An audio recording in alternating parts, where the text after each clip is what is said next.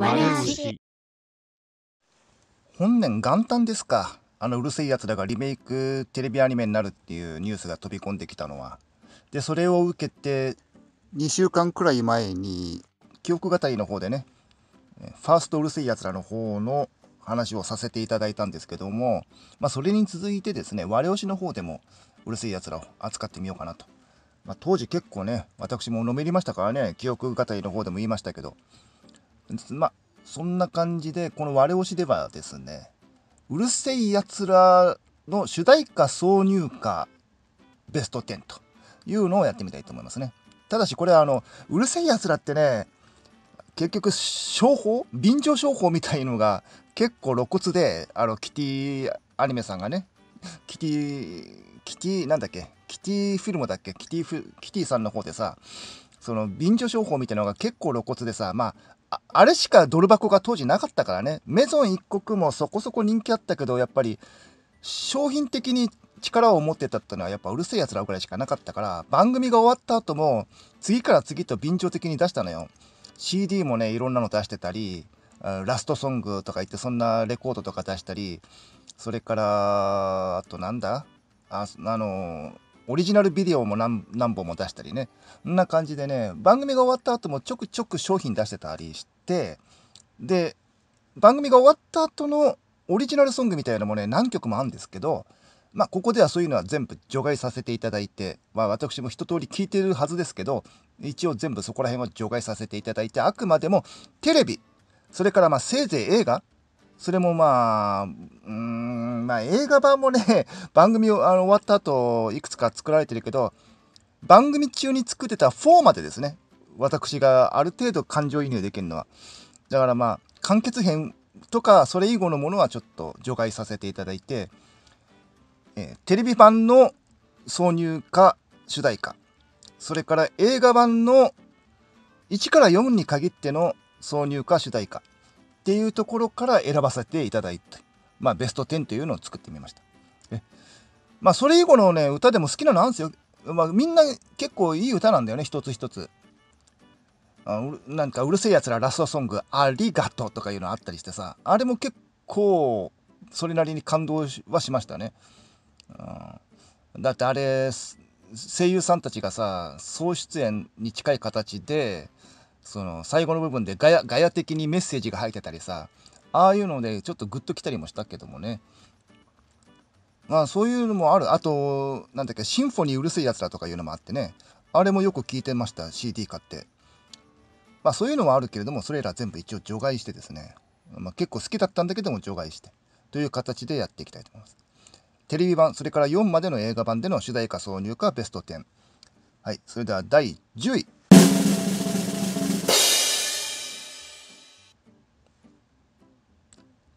チャンスオンラブですね。チャンスオンラブ。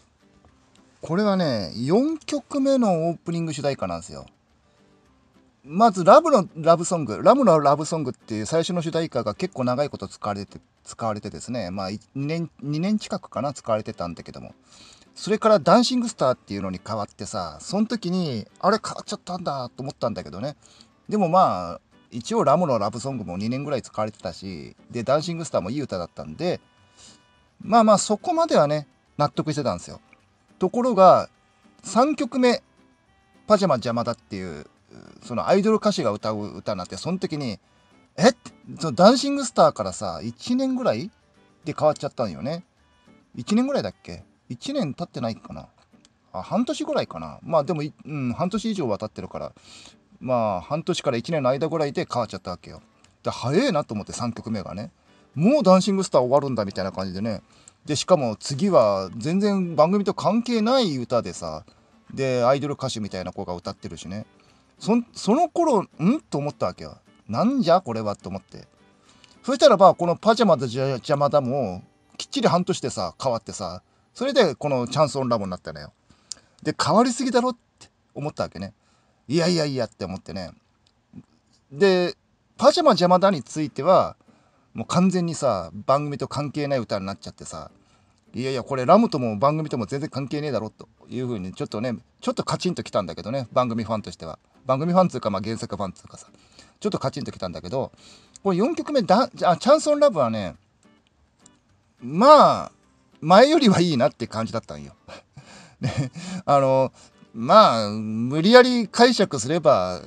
ラムのその歌とねとってもおかしくないっていうねうんまあでも相当無理やりに解釈しなきゃでもその辺っていうのはさボケてるわけなぜかっつうとこれね英語の歌詞が多いのよ英語の部分が多いの初めて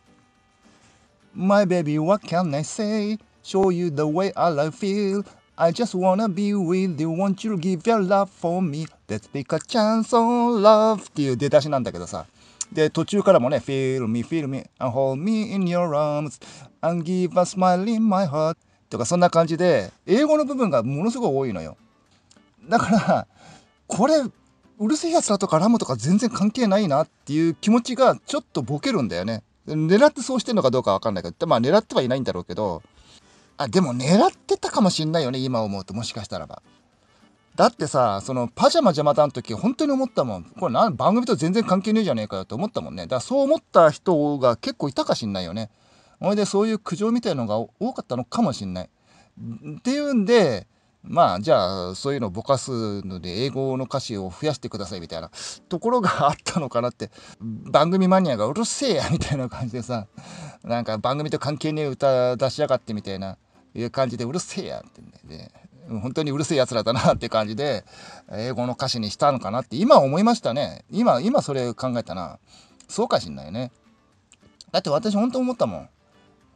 英語の歌詞ですら思ってたからねやっぱり。なんかやたら変えるしで番組と関係ねえ歌だしみたいなことはずっと思ってたからね。まあだからこの「うるせえやつら」っていう番組のまあ悪しき足跡っつうかな。まあ悪しき風習を残したアニメ界に残したのってその番組をねこうアニメ番組というものをレコード会社の番宣番組みたいにしちゃったっていうのあるのよ。それまではアニメの主題歌テレビ漫画の主題歌ってさ番組にのっとった歌詞でね歌ってたわけですよ。でまあその主題歌オープニング主題歌ですからねオープニング主題歌を見ればその部分を聞けばなんとなくその番組世界が分かるみたいな役割もあったわけですよね。うんまあ、そういう役割があったのをそんなことよりもレコード会社のその商業主義優先になっちゃったわけよね。もう次から次と半年で交代で曲を変えてしかもその、うん、曲の内容ももちろん番組とあんま関係ないみたいなねことで歌手とかレコード会社の理論優先でやってたでしょ。で私もカチンと来てたし多分ね番組ファンでそう思ってた人間って多いと思うのよ。でそれでそれ対策でせめてじゃあ歌詞は分かりづらくしちまおうっていうのがあったのかなって今思いましたね。ただねこれね10位に入ってるベスト10に入ってるぐらいだから曲は好きだっただからうるせえやつらねそこがね最低限まあまあ仕方ないかと思えたのは、まあ、年がら年中曲変えて、ね、主題歌変えてさオープニングもエンディングもねそこはカチンとは来てたんだけど、まあ、せめて出来は良かったからね。音楽は良かったから。だからまあカチンとは来たけどなんだこんなもんにしやがってとまでは思わなかったんだよね。まあ渋々まあ歌がいいからいいいいかみたいな感じには私はなってたんよ。全部いい歌だったからね。よくよくできた歌だったからまあまあって納得納得はしなかったけどまあそんなに拳を振り上げるまではいかなかったって感じカチンとは来てたけどねでこれ「チャンソンラブ」もねいいなと思ったねで歌ってるのがシンディさんでさシンディっていう人でなんかこれがデビュー曲だったらしいんだけどで作詞もシンディさんらしいんだけどね。んまあ声も可愛かったしよかったよねこれ。あのオープニングアニメの感じとかも詩とマッチしてたしでシンディさんの声とも合ってたしその映像もね。で軽い感じの歌でさこれは好きだったね。あのエンディング主題歌も好きだった。エンディングもシンディさんのやっぱり歌で多分 B 面だったと思うけどレコードのね。B 面も好きだったね。だからエンディングも好きだった。エンディングなんだっけ？えっ、ー、とあオープンインビテーションか。オープンインビテーション。これも結構好きだったね。こっちはシンディさんが作ってるわけじゃないんだけどね。オープニングのこの「チャンソンラブ」はシンディさんが作詞して歌ってると。でこのシンディさんって後に中山美穂さんに人魚姫とかさそれからなんだっけウィッチーズとかを提供してるみたいですね。歌も提供してるのか曲曲も提供してんだっけ？なんかねだそういう人で割と後に裏方として名をなすみたいな感じの人ですね。歌手としては今一つだったみたいだけどまあ裏方として大成した方だけどなんか早早くにお亡くなりになってるみたいでちょっと今調べてびっくりしたんですけどあの歌声好きだったんですけどね私ね。でチャンソンラブはまあまあカチンカチンと来てた頃ではあるけど年がら年中したいか買いやがってっていうのにカチンとは来てたけどあの歌声とか曲の良さとかで、まあ、納得してたなっていう感じですね第9位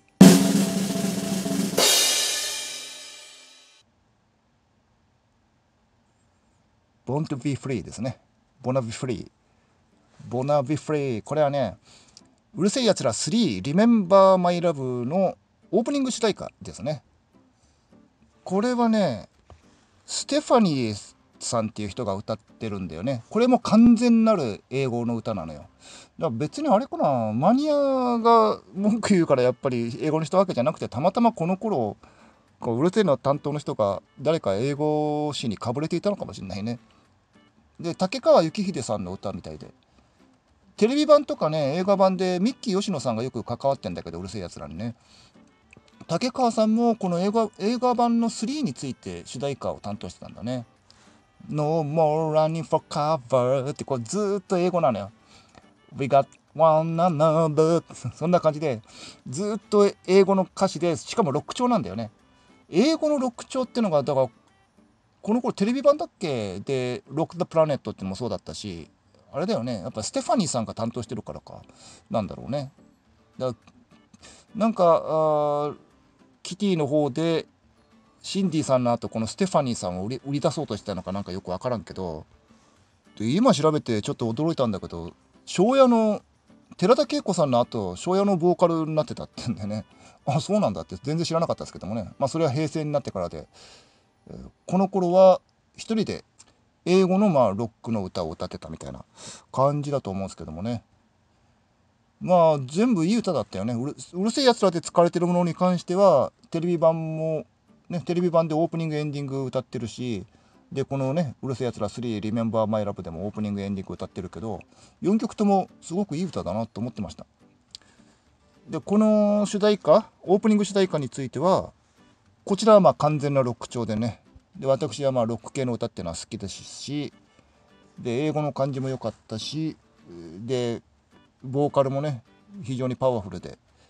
いいなと思って聞いてたんですよね。まあそんな感じで9位でございます。ここでお知らせをご覧ください。第8位。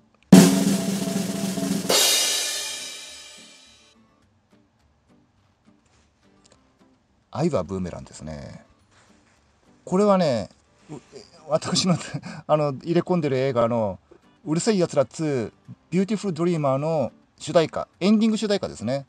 番組が終わっても完全にね友引町が元に戻った状態になって校舎の時計も元に戻ってるというねで始業ベルが鳴ってキンコンカンコンってなってで学園祭がついに始まりましたよっていう本当のエンディングでエンディングの直前に流れるんだよね。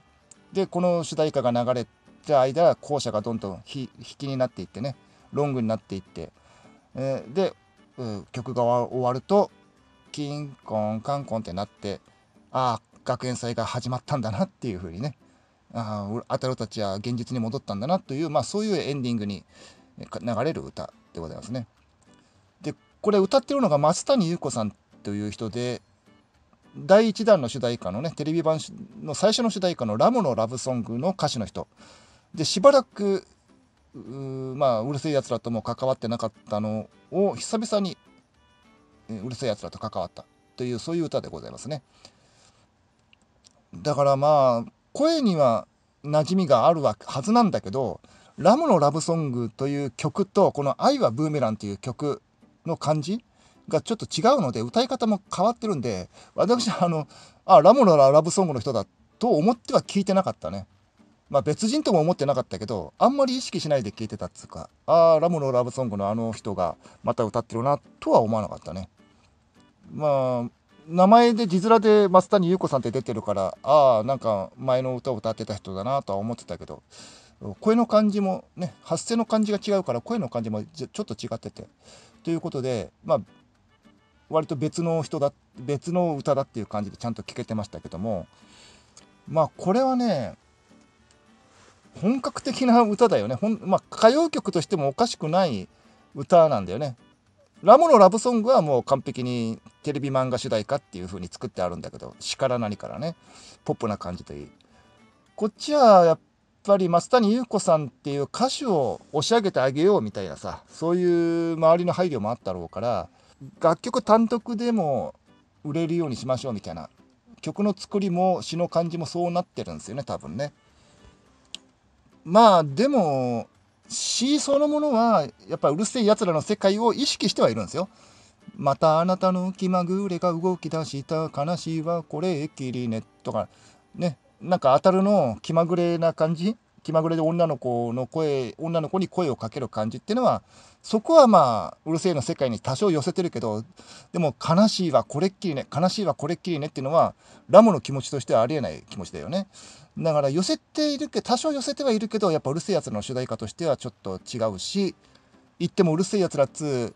えー、ビューティフルドリーマーの主題歌としては全然合ってないの。あその映画の世界には全然即してないっていうね。まあだから押井さんもあれなんだろうね。これはオープニングに使いたくないっていうのがあったんだろうねちょっと俺が作った映画と合ってる主題歌じゃないしみたいな単独で作った主題歌だからまあ番組の終わり、えー、映画の終わりに流せばいいかみたいなねオープニングとして番組世界を象徴するような歌じゃないからさそこで流すにはちょっと違うなっていうのがおしいさんとしてもあったんだろうね。で、ええエンディングで延々と流すという感じの使い方になったんだと思います。あの同じく押井守監督のね映画第1弾のさなんだっけ、オンリーユーか。オンリーユーの主題歌の IIU&I はちゃんとオープニングでね、主題歌で使ってたからね。オープニングで使ってたよね、確かね。エンディングでも使って、両方で使ったんだっけそうだよね。オンリーユーでは IIU&I っていう主題歌がオープニングエンディング両方でちゃんと使われてたっていうところでね。まああれはその番組というか映画に合わせた主題歌だったからなんだろうな多分。映画に合わせたかな。まああれはどっちに使ってもいいなっていうあれがあったんだろうね。でもこの「愛はブーメラン」についてはなんか歌謡曲的っつうかな映像映画にそんな即した主題歌ではないっていうのがねやっぱそういうのがあったのかなと思います。それでああいう使われ方になってるのかなと。まあ、それっていうのはやっぱり周りの配慮がね、なんとか増谷優子さんを押し上げてあげたいみたいな周りの配慮があったんだろうなと思ってますけどね。だから今日楽曲単独として聴けば非常にいい歌で、私もこれ好きでよく歌ってましたね、当時ね。こんな感じで第8位ということでございます。ここでお知らせをご覧ください。第7位。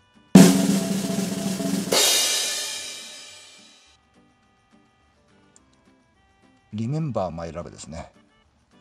これはあのその名の通り、うるせえやつら3、映画版のね、うるせえやつら3、リメンバーマイラブのエンディングの方の主題歌でございますね。オープニング同様、オープニングの、オープニングは先ほど言ったボナビフリーでございますけども、ね、そっちはもうロック調、完全なるギンギンたるロックの主題歌。で、まあオープニングを賑やかにね、友引メルヘンランドで始まるオープニングを賑やかに始めるっていう感じでございましたけども、こちらの方は映画が終わるっていうその寂しさを表したエンディングでね。これは好きだったね。うんこれもねオープニング同様に全部英語の歌詞なんですよ。こちらもオープニング同様竹川幸秀さんの作曲みたいですけども I wanna thank you for all the trust and devotion. Thank you for the good times ってやつね。これねすごいしっとりとした歌なんですよ。だからステファニーさんテレビのオープニングエンディングそしてこの映画のオープニングでは割とギンギンに歌ってたんだけどこういうバラード調通かなそういう静かな曲もまああの歌唱力は確かな人だからね。しっかりとした歌唱力の人だからこういうバラード調の歌も非常に力感豊かに歌い上げてるってとこでねこれは聞き惚れましたね。これは本当好きだったな。で映像がいいんだよね。あの友引メルヘンランドってところが舞台になってるわけ。あの遊園地新しくできた遊園地。そこを舞台にして進む映画なんだけど。でだからなんだろうけどもその観覧車が映るんだよね。でチョロ Q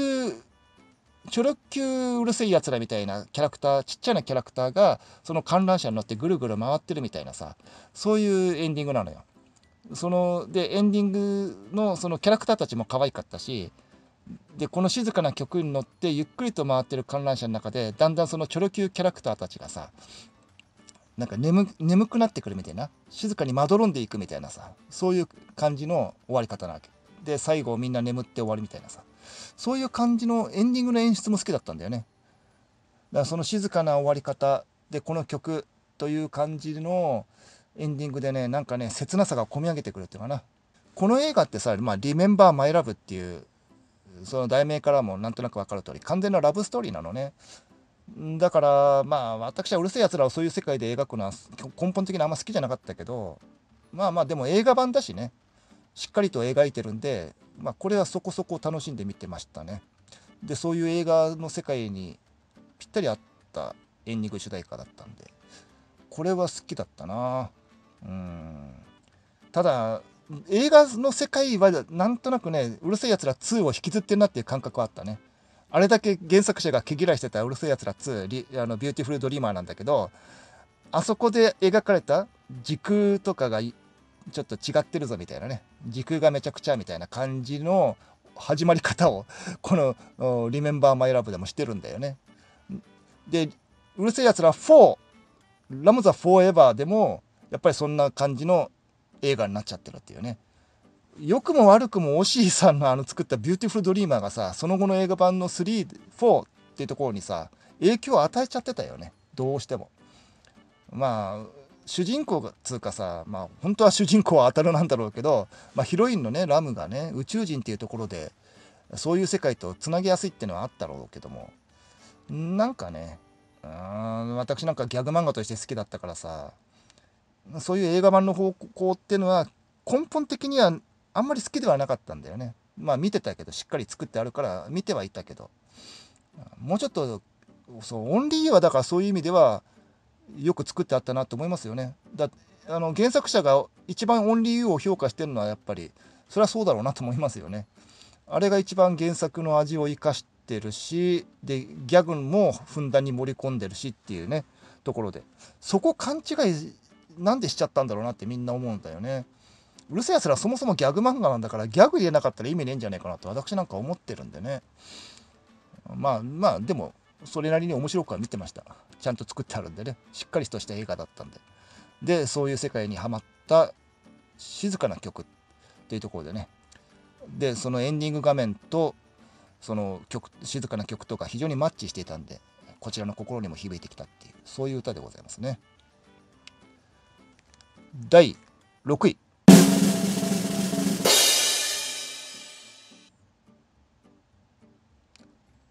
とはより愛を込めてですね。グッドラックとはより愛を込めてですね。永遠より愛を込めてと書いてとはより愛を込めて。これ秋陽子さんが作詞だったんだね。知らなかったっつうか気がつかなかったです。うん。この歌南翔子さんっていう人が歌ってんだけどまあオープニングもエンディングも好きだったんだよね。これうるせえテレビ版のうるせえの一番最後のねエンディング主題歌なんですよ。とはより愛を込めて。でグッドラックどういう歌なんかっつうとこれ面白い歌でね It's so wonderful, alright 今なら間に合う。It's so wonderful 空に羽ばたく鳥のいる間はっていう歌なんよ。要するにまあ地球環境を歌ったみたいな主題歌なのよ。珍しいよねテレビ漫画の主題歌なんだけど地球環境を歌ってる歌なので地球は美しい星ねコスモに浮かぶたった一つのオアシスっていう歌なんよね。だからこのグッドラックっていうのは、まあ、地球とか地球人に向かって言ってるってことだよね。で、守ってあげる。あなたの住む愛の星をっていうか、そんな風に言ってるから。で、エンディング画面もさ、ラムが、まあ、地球みたいなその丸いのを、こう、な、撫でてるみたいな、そういうエンディングになってんだけど、だから宇宙人目線の歌になってるから多少まあラムには寄せてるよね。多少番組に寄せてる詩にはなってる。でもそういうのを超えてもなんか地球環境全体を歌ってるみたいな壮大な歌なんだよね実はねこれね。うん。まあだからあくまでも主役はラムなんだみたいな世界観でさ原作ファンの私とするとねいやいやいやってなるんだけど非常に多くの大多数の人たちはさその世界観に全く違和感持ってないだろうからね私が少数派なんで当たるが主役なんて言ってるのは多分ものすごい少数派だと思うのよ。ねもううるせえやつらの主役はもう完全にラムになっちゃったからね乗っ取っちゃったからね。だそのラムの、うん、まあ目線であなたが住むこの地球という美しい星を守ってあげるわ。だからグッドラックっていうねそういう歌なんですよ。ちょっとだから異質異質だよね。テレビ漫画主題歌としてはかなり異質な詩になってる。まあそのぐらい環境問題っていうのが出てきたっていうかまあもう前前からあるのかもしれないけどそれを一応テレビ漫画主題歌？ば、まあ、テレビ番組の主題歌としてこういう風にやるっていうのはかなり斬新っていうか珍しい例だと思いますけれどもね。でもまあ単純に楽曲がね歌が曲が良かったんで割と好きな歌でしたねこれはね、えー、うるせえやつらのテレビと映画の主題歌挿入歌に関して我推しのベスト10を作ってみた。本日は5位から1位までをご紹介したいと思いますね。